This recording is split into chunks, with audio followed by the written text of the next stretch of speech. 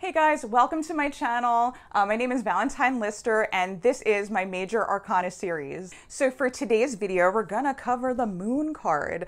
Um, and we are going to go deep into the card. I wanted to give you a video that gave you more meat um, and a deeper understanding and an easier understanding of the card. And we are going in deep into the secret symbolism of the card so you can really understand what is in the card and how to better understand it. And that is going to include um, the numerology, the astrological correspondence of the card, as well as the upright and the reversed meanings. Hey, the moon card, what we got going on here? I know they're a little uneven, but my light keeps blaring on this one. And finally, I just propped it up with the crystal. Okay, uh, underneath. So, okay, so the moon card. Um, if you haven't watched my videos, I'm just going to tell you like that, like this one in the middle is the Rider Waite version. So you might recognize it. Um, this is the most popular version of tarot. It was published in like the 1900s by publishers Rider and Waite. And the artwork was done by Pamela Colman Smith. Um, and so tarot was a card game created in the 1400s in Italy, and now it's a divination tool. Came a long way. All right. And then on the right here is a version I beginner. It's the first deck that I started with. I think it's really easy to connect to the deck to understand the images, and I find that people I read for really love this one. Um, and then this is the Way Home Tarot, another loved one um, that I connected to through the book WTF Tarot, which is one of the books I learned tarot from. And so, if you're interested in any of these decks um, or the books that I learned from or that I recommend, um, I left that information in the description box below so you can check it out. Okay, the numerology of the card, getting up in those Roman numerals, but here's the number 18. 18 it's associated with. So, what does 18 mean? 18 represents the exploration of secret realms. So it combines the 10, the number of completion and new beginnings based on lessons learned from the past, with the number 8, which represents infinity, eternal life, abundance, worldly power, and influence. So 1 plus 8 equals 9. So 9 represents the end of a cycle, wisdom through experience and integration. Okay, the secret symbolism. So we're going to go um, start with the Rider Waite version and, and describe this one. This has the most symbolism. So the moon is present here in three of its phases one, two, and three. Okay, and so if you know about the moon, how it waxes and wanes and what that means, and if you don't, I'm going to tell you one important thing with this card is that when the moon is gaining light like this, um, these are all challenging stages for the moon as they represent the lunar stages where the moon gains light, right? So, so when the moon is waxing, which means gaining light, it's tougher, and the, that's the phase that we're seeing in the moon. And one little pro tip is that you know the moon is waxing, it's gaining light when it's filled in on the right filled in on the right like that. If this crescent crescent was on the left, it would be a waning moon um, where it's losing the light. Like this is the waxing crescent moon. This is the first quarter moon, and then all filled in would be a full moon all of those waxing stages where the moon is gaining light. And so, what does that mean? This means that what's been hidden underneath the surface in the subconscious, it really needs to be dealt with. Um, so, for example, in the waxing crescent moon, there's a felt sense of needing to push forward and overcome subconscious fears, hurts, and wounds. However, there's also the feeling of wanting to turn back to safety and into the darkness. In the first quarter moon, where the moon's like filled in half like that, there's a feeling of exposure to a conflict that you're meant to fight to build your inner strength. So it's like first quarter moon, fight, okay? And then we have, if the moon's all filled in like that, um, with the full moon, you become fully aware of the opposite aspects of your personality, the conflicts like within and your inner polarities. And that can really create an inner crisis that pushes you forward to find inner unity. So these are all important clues in understanding this moon card. Um, and then looking here, there's a face in the moon. And so who's that? Who that? Who that? Okay, that is the goddess of the moon as seen in the high priestess card. Um, so there's a few goddesses, like I had said in the moon card, that are associated um, with the high priestess and the moon, such as Selene, Artemis, Isis, and Hecate too. and her eyes are closed here. And that represents what's hidden within us. And so moving down on the card, we have like this light like raining down. So what is that? Okay, we saw that in the tower card, and those are Hebrew yods. Um, and they signify the life force or the kundalini energy coming into material existence. Um, and so we do have two towers here. And besides just like giving a nod to the tower card, um, which, you know, we saw back, I believe that was, yeah, number 16. Um, besides that, um, I couldn't find any other type of meaning, um, but they most likely represent our ego, solidified wisdom, or stubbornness. And so it also could represent, like the towers represent um, protection from what we're afraid of. And then moving down to this pool, we saw a similar pool in the star card. Um, and this represents the universal mind or the cosmic conscious or the collective unconscious, whatever you want to call it. Um, but the water also symbolizes the moon's link with the tides of the earth. Um, also, the emotions and the unconscious realms.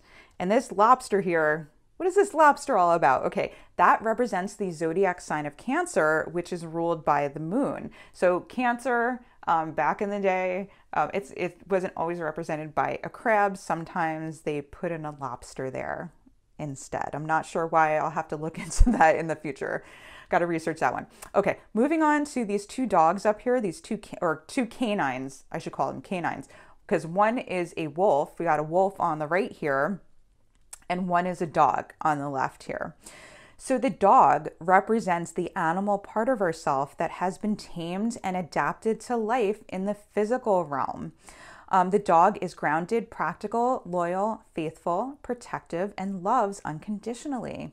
And then we have this wolf. And the wolf represents the untamed part of ourselves and the soul, the wild soul. Um, the wolf has a deep connect, uh, a deep connection to its instincts and an appetite for for freedom. And so we said like the moon is gaining light. So the moon is lighting up this path in the center through the mountains. And remember, if you remember from previous cards beginning in the Fool, the mountains represent the cold, hard principles of mathematics, the heights of abstract thought, wisdom, and understanding. And the path is the path of the soul and the road back, back home to your higher self. All right, moving on to the Light Seer's variation here, which I oh, I love this one. Okay, so we have an image of a full full moon. She didn't use all the stages; she just used the full moon right here, right? Kind of a difficult part of the moon phases. Um, and we have, she, she chose to put, I believe, two wolves on each side instead of a dog and a wolf. Um, and she put one black and one white. So white would represent, like in comparison, right, to the Rider Waite, is the pure, untamed self. And the black would be the one with like the earthly wisdom, kind of the more grounded one, or seeing like the, the reality of life here, this black wolf here. Okay, down here we have this woman falling into the pool. Um, and she, so she's diving into that subconscious, that collective conscious, that cosmic mind. Um, and what's cool is that this card is a real nod to the story of Pisces, where Venus and her son Eros dived into the water um, and, and turned into two fish to escape the monster Typhon. Um, and if you can see here, there's a mandala on the woman's dress, and that represents the heights of abstract thought, wisdom, and understanding. Um, like in compare, and, and that's similar to what the mountains represent in the Rider Waite version here. Okay, and then on the left here, we have the Way Home Tarot variation, and she also chose to put a full moon in here, right? We got these uh, these two wolves here. Um, so the white one here is howling at the moon.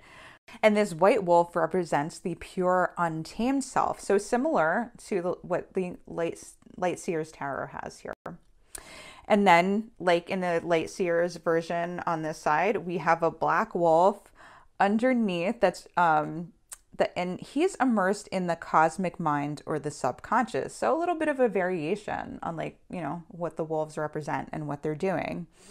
Um, and so the like um the pool here is within the mountains, right? The mountains of that mat- mathematical abstract thought and wisdom and understanding. And then the pool makes the path in between that, which I thought was really cool. And then you can see this like black lobster coming up, which I, I love this thing. Um, and so that is like representing Cancer the crab.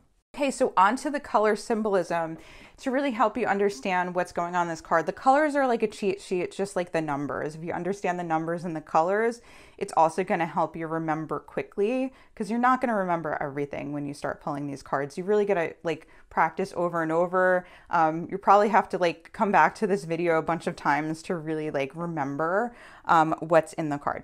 Okay, so we have yellow, and yellow was a big one, right, for representing the soul. Okay, and so what the soul represents creativity, optimism, and enthusiasm. Then we have light blue here, and light blue is a big one representing compassion. We have a lot of blue here, like in these two cards.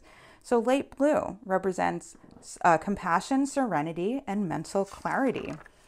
And then we have a little bit of red here, not too much, but in this little Cancer, the crab, this lobster, um, and that represents desire, passion, vitality, and courage. So this lobster of desire. uh, okay, and then we have green here. We have a little like green tones up there, but mainly here in the grass in the Rider Waite. And that represents healing, growth, fertility, and prosperity. Then we have gray, a little gray here, some gray here, and gray here. Gray represents wisdom, so the mixing of black and white. Then we have like royal blue, like a deeper blue in the Light Seers deck. And that represents loyalty, insight, inspiration, and independence. Then we have a lot of black in the Light Seers tarot, uh, tarot and that represents power, the unconscious, um, banishing, and wisdom. And then we have a lot of white here, a little bit of white here, right, with this wolf, and that have represented purity, wholeness, and protection. Okay, so the astrological correspondence of the card. So I gave you a little hint here when I was talking about the Light Seers Tarot, because this is such a beautiful image that um, would give a nod to the zodiac sign of Pisces. So the moon card is actually associated with the sign of Pisces. I know it was uh, confusing there because we had other zodiac symbolism. Um, but it is associated with Pisces. So it's why, right? So I thought about this. And so a signature of Pisces is their willingness to dive into the subconscious. Um, so Pisces are usually willing um, to go to the dark places of the mind and human behavior because they believe that uncovering that knowledge will lead to a higher level of understanding, transcendence, and love. Um, and there's beauty in the dark places that needs to be brought to light. And it's it's this, and it's also a wisdom that really connects us to each other because it also represents um, the emotions and connecting with other people for a higher purpose. Okay, and I also gave this card a little nickname, and it's you feel disillusioned. So if you don't know why I gave this card a nickname, you need to go watch the easiest way to understand the major arcana, okay? Because um, I gave you a little cheat sheet, a little story story from the cards right away in an easy way, um, remembering that the major arcana is connected together uh, in a story. There's no way you're going to remember every detail, so this is a quicker way to really get these cards. I'm going to link a card up here for you, and you can also find that video in the description box below. Go check it out. So the upright meaning of the card, it means working through your subconscious fears. So this may be unpleasant or it could feel really cathartic depending on like whether you fight the process or surrender to it. So you need to pay attention to what's going on in your dreams, in your imagination and gut feelings to understand what you need to acknowledge, work through and release. So what does that mean? So some examples of what that that could look like is recurring dreams or nightmares. Noticing that events are bringing up strong emotions about things that happened in the past. Um, being drawn to uh, spiritual practices that make you aware of the subconscious, such as tarot, astrology, meditation, Kabbalah, or other mystical sects of religion, religion or religions, um, or things like journaling. Um, having strong emotions that you can't handle could be another, you know, sign- signature meaning of this card. Um, seeking out a therapist. Um, your psychic abilities are being uncovered. Uh, could be a person such as an ex or a family member is trigger- triggering you, which is the universe's way of making you deal with it so you can heal it. The reversed meaning of the card. So the rever if it's reversed, it's coming out upside down. And if it's reversed, it means energy is still there, still the same meaning, except the difference is that that energy is being blocked or avoided. It's not coming through. It's being blocked by you, by someone else, or the universe. Like could be for a reason, you know? Um, and so what does it mean for this card? So it means you're pushing your subconscious issues and fears under the surface um, because you don't want to deal with them. Um, so it could be things like being afraid of tarot cards, astrology, seeing a psychologist, journaling, um, mystical sects, sects, not yeah, sects, okay, or groups. I mean, okay, etc. Um, drinking heavily or another self-destructive practice to stuff your feelings back down blaming others for your issues and not taking responsibility um, for your own well being could all be meanings if this card comes out reversed. Hey guys, hope you enjoyed this video on the moon card. And this is just a quick reminder that if you like this video and want to make sure to catch the next video in this series, um, which will be the sun card, uh, make sure to like, subscribe, and hit the bell to be notified for that. Also, if you're watching this way into the future when I finish the series, or if you just want to catch up on the cards that I've already covered, I'm going to link a major arcana playlist over here, and I'm going to also link um, like a related video up here for you guys. All right, take care. Love you guys. If you like this video, make sure to like, subscribe, and hit the bell to be notified for whenever I release a new video every single week.